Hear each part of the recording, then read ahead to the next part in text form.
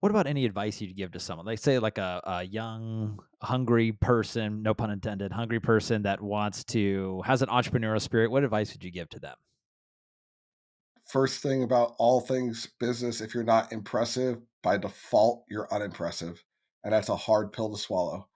It's it's like, well, we brought them the drinks and we got them the check on time and we they ordered food and we brought them. Like, yeah, that's the deal. And I'm still gonna go somewhere else next week. Not because you did anything wrong, but because you didn't impress me. And I think people assume because they did everything right, they should be millionaires. And it's not the case. You have to go above that.